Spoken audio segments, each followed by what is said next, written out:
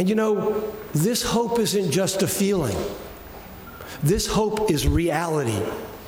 Because you see, before Alsac and St. Jude, if you were a parent of a child and you had been told that your child had cancer, you were being told that your child was going to die. The survival rate, even in the United States, for the most common form of cancer in a child, leukemia, had a survival rate of 4%. 96 out of 100 kids who would be diagnosed would pass away. And then you fast forward today, just 55 years later, and that survival rate is now 94%. And St. Jude has been instrumental in taking the overall survival rates for childhood cancer from over 20 from 20% to over 80%, and we're working to get it to 90%, and we're not going to stop until no child dies from cancer.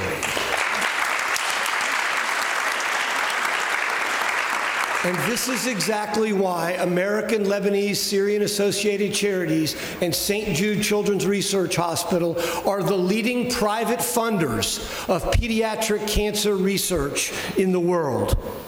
And you know, I'm so proud to be here with our friends from the CCCL because they are the shining example of the international partnerships that St. Jude has fostered over the past 20 years you know, we are very, very fortunate to be in 17 countries and to have 24 partner sites in those 17 countries. And over these 15 years, the Children's Cancer Center of Lebanon has taken great strides to improve the survival rates for kids here, not only in Lebanon, but in the region. And we're so proud, and my father and Danny Thomas would be so proud to know that over 1,300 kids have been successfully treated, and that you all have provided over 4,000 consultations, and that as, as Dr. El Sola just told us, that the survival rates are now over 80% in this wonderful country. But folks, we still have a massive problem around the globe. In February of 2016, the International Agency for Research on Cancer estimated that there are over 300,000 cases of childhood cancer diagnosed worldwide. The vast majority of these kids will not have adequate will not have access to adequate medicine. The same report projected that over 80,000 of these kids would pass away. And while we can celebrate survival rates of 80%, in many of these other countries, survival rates are as low as 10%. Even in the United States, even in the United States, cancer remains the leading cause of death by disease in U.S. children today. And if you're a mother or a father of the one of the five kids that still passes away, whether in Lebanon or in the United States, the one person matters, and we can do better. But I think I'm here today, I know I'm here today to bring you good news. St. Jude Children's Research Hospital is truly poised to lead the way the world understands, treats, and defeats childhood cancer. In March, just a couple of weeks ago, our Board of Governors of St. Jude Children's Research Hospital approved a brand new strategic plan that we call St. Jude Global that's going to enhance the things that we can do globally to try to find cures for childhood cancer. Over the next several years, our teams, in collaboration with our partners here and around the world, will be working to accelerate care for children by assessing the global needs and identifying ways that we can work together to fight pediatric cancer, utilizing organizations and regional networks around the world. These efforts have been a focus of ALSAC and St. Jude over the past several years, and our combined leaderships have worked together to develop this new strategic plan. But, ladies and gentlemen, I say this to you it will take friends like you, friends like you in this room, governments that may be represented today, and non governmental agencies around the globe in collaboration, in partnership with St. Jude Children's Research Hospital to advance these efforts to end the scourge of childhood cancer. As I started my remarks today, Gibran's quote implies that every child Every child is beautiful in the eyes of God. And that is why a child born to privilege should not have a better chance at survival than a child born in less fortunate circumstances. And that is what our mission, that is what the mission of American Lebanese Syrian Associated Charities and St. Jude Children's Research Hospital is all about. That no child, no child, regardless of where they live or what their circumstances are, should be deprived of the right to survive pediatric cancer. So I urge us all today to forge a bond, to be united in partners, because together, together, we can realize the dream that our founder had when he opened St. Jude Children's Research Hospital in 1962 that no child should die in the dawn of life. Thank you all for including us in this conference. We congratulate you and look forward to working with all of you in this room to further the, the cause against childhood cancer. God bless.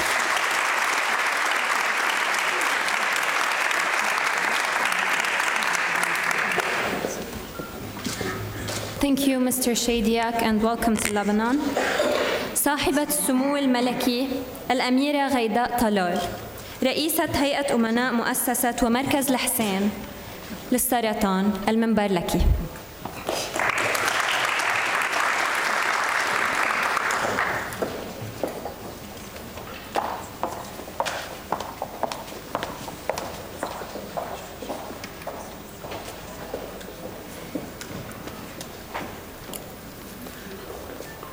الأصدقاء الأعزاء أهلا وسهلا بكم. السرطان غدار. لا أمان له ولا يعرف حدودا فهو يصيب الكبار والأطفال الأغنياء والفقراء الرجال والنساء دون تمييز. وقد أثر السرطان في حياتنا جميعا بطريقة أو بأخرى. ونتساءل كيف يؤثر بنا السرطان؟ يسرق منا الأمل؟ غالبا. يصيبنا بالإحباط بالتأكيد. يبعدنا عن أحبائنا دون أي شك. وهل نخسر المعركة أحيانا؟ الاحتمال وارد. ولكن تظل الحقيقة التي لا شك فيها هي أن السرطان لا يعني الموت ويمكن التغلب عليه. فنحن نشهد, نشهد العديد من الانتصارات على السرطان في كل ثانية من كل يوم. فكم كان فخري كبيرا عندما احتفلنا بالطفل الألف الناجي من السرطان في مركز الحسين للسرطان قبل خمس سنوات. فعادوا لحياتهم عادوا لمستقبلهم وعادوا لأصدقائهم وأحبائهم.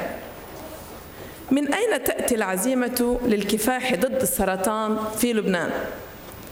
الجواب يتلخص بأربع كلمات وهي مركز لبنان لسرطان الأطفال فقد عمل مركز لبنان لسرطان الأطفال على مدى الخمسة عشر عاما الماضية على معالجة وإنقاذ مئات الأطفال المصابين بالسرطان وأمراض الدم ففي الوقت الذي يتلقى فيه طفل بريء علاجه الكيماوي في مركز سرطان الأطفال في بيروت يكون هناك طفل آخر في مستشفى سين جود في تينيسي. يخضع لعملية زراعة نخاع العظم. وتكون طفلة وتكون طفلة تستعد لجلسة العلاج بالأشعة في مركز الحسين للسرطان في عمان. فتعاوننا المستمر وتبادلنا الخبرات هو سر نجاحنا واستمراريتنا. إن مؤسسة ومركز الحسين للسرطان الذي اللذين أتولى رئاستهما يتشرفان بحمل اسم أغلى الرجال الرجل الذي أحدث ثورة في طريقة التفكير والمواجهة لدى جميع الأردنيين ضد السرطان. الرجل الذي حطم حواجز الخوف بصراحة وانفتاح حول إصابته. وهو بالطبع مليكنا العظيم الراحل الحسين بن طلال. طيب الله ثراه. وبعد مضي 15 عاما فقط على تأسيس مركز الحسين للسرطان أصبح رمزا للأمل والتميز الطبي. فبقسم سرطانات الأطفال الذي يتميز طبيا على مستوى عالمي نعالج 400 طفل جديد مصاب بالسرطان كل عام. ومن أهم إنجازاته هو تحقيقه لنسبة نجاة تصل إلى تقريبا 90% وهي نفس النسب الموجودة في العالم. فبالرغم من أن الأرقام تشير كما قال ريك لوجود 200 ألف إصابة جديدة بين أطفال السرطان في العالم إلا أنه علينا أن نتذكر أن السرطان سيظل دائما قصة إنسانية حقيقية مهما حاول الخبراء أن يحولوها إلى مجرد إحصائيات. ذلك أن وراء أرقام الإحصائيات حياة حقيقية تتعرض لخطر وأسر حقيقية تتعرض للمعاناة. وأحلام حقيقية تتعرض للانهيار. والواقع أن الفضل لقدرتنا على الكفاح ضد سرطان الأطفال يعود لمستشفى سين جود لأبحاث أمراض الأطفال الرائد في عالم سرطان الأطفال. فنحن في الأردن نشعر بالامتنان العميق بأننا جزءا من عائلة سين جود وأنا شخصيا لا أنسى تشجيع صديقي الرائع وقدوتي ديك شيدياك والد ريك الذي آمن برسالتي في مكافحة السرطان منذ البداية. فشراكتنا مع سين جود تشكل مثلا حيا على مدى ما نستطيع أن نعمل بين المؤسسات الطبية والخيرية. إن كل ما نقوم به في الختام وكل ما نعمل لأجله. موجه لتحقيق موجه, موجه لتحقيق هدف واحد بل هدف وحيد. هو تمكين أطفالنا من التغلب على السرطان من خلال توفير أفضل معالجة ممكنة لهم وبذل أقصى طاقاتنا لتخفيف معاناتهم. واستعادة ابتسامتهم وبراءتهم. مؤمنين بكلمات مؤسس مؤسس سان جود داني توماس الخالدة. يجب أن لا نسمح لأي شيء أن يحرم أي طفل من الحياة في فجر العمر. وشكرا.